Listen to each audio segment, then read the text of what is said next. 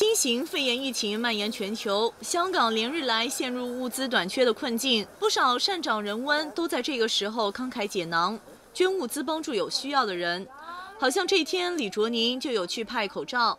受到疫情影响，百业萧条。Karen 也说，最近工作量大减，所以他有时间多陪一下家人，尽一下孝心。其实有一个好处，我觉得是好的，就是可以多在家里陪爸爸妈妈。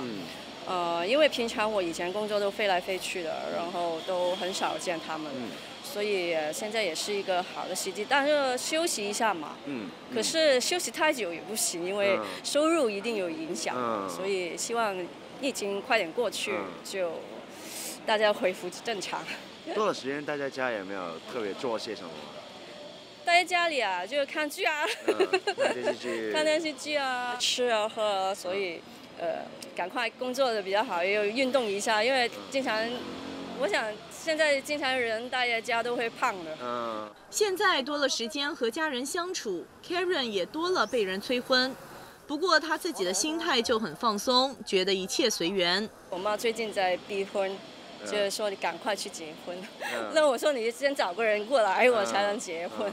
我会努力的，大家不要催我。那亲戚朋友有没有说些什么呀？